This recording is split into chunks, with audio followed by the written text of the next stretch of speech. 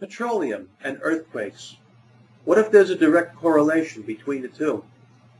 What if by pumping all this petroleum out of the crust of the earth over all these decades, we have been causing more and more earthquakes? What if petroleum has a function, a purpose? What if it's part of the tectonic process, at least close to the surface of the crust?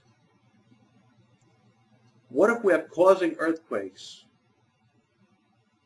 Also, this recent spill in the Gulf of Mexico, it will completely destroy the environment of the Gulf Coast.